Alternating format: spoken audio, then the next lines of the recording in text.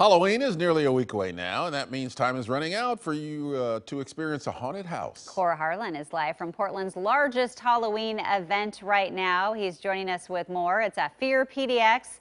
Cora, is it is scary during a pandemic? How's it looking this year?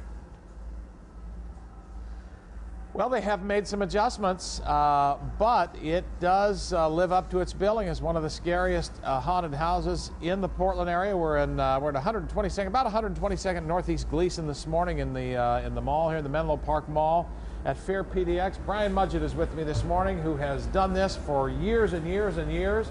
Brian, good morning, and this is a strange, strange times that we're living in, correct? Yeah, yeah, we had to make some uh, major adjustments, but we still have a great sh uh, show here, and everything's good. So, so what I'm used to seeing when we come out here are things kind of hanging down from the ceiling that you kind of walk through and you get some scares. You have a lot of actors that are reaching out at people.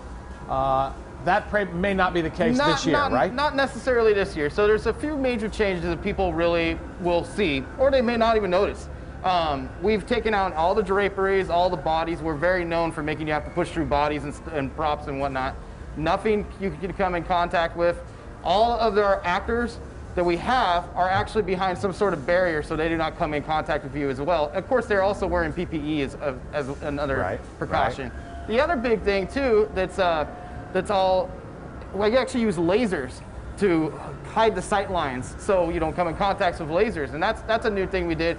We also added a whole bunch of new animatronics and effects. Like this like guy this here. guy right now here. Tell me about this guy here. This so is... this is the Reaper. He's uh, the storyteller. He welcomes you in here, and uh, he's just uh, doing his thing at the moment. But uh, he uh, he gets pretty nasty when you first come in the haunted house. -huh. Well, actually, I should say the haunted museum because we are a haunted museum this year. -huh. So that's the other big thing that's different is the aisles are very well lit compared to a traditional haunted house where it's really dark all the time.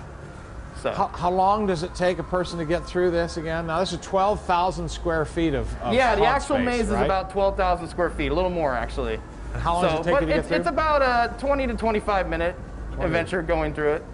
So. Okay, tell folks who still want to interested in coming out here, you're going to be tonight. Uh, just tell me your schedule from now through. So Halloween. we're open Thursday through Sunday this weekend. So I got to let you know, we're only letting 30% of our normal occupancy in. Just like any business with a restaurant that has less tables, we're doing the same thing for socially distancing. So tickets sell out every single night. And they're time tickets? They're time, time tickets, yeah. Well? So we only allow a certain amount of people per time slot to obviously help with social distancing. All right, well, you heard it from Brian. He's out here, uh, COVID or no COVID. They have added a lot of electronics and, uh, uh, to the show. And you even say, in some regards, this has solved some problems that you had last yeah, year. I think, I think, it's the best show we've had. I'll be honest with you. Yeah. Um, I've always said this this whole thing. There's a little code that zombies can't get to you because they have to eat your brains. Well, now they can't get to you. Now they can't get Maybe. to you.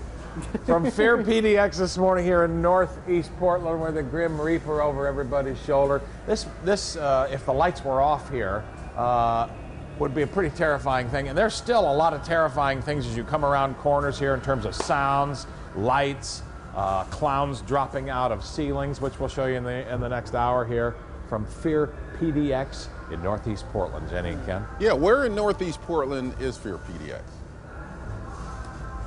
122nd and Glisan. This is the Menlo Park Shopping yeah. Plaza. Mm -hmm. Menlo Park Shopping Plaza, 122nd and Northeast Glisan. Okay. Mm, okay. Well, no zombies eating the brains this year. That's a, that's an improvement for me.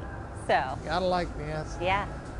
it's, it's, a, it's a sad thing, isn't it, when zombies can't eat brains in the morning? I mean, I, I yeah, sure. We're, we're very disappointed yeah. by that, but that's okay. Yeah. Okay.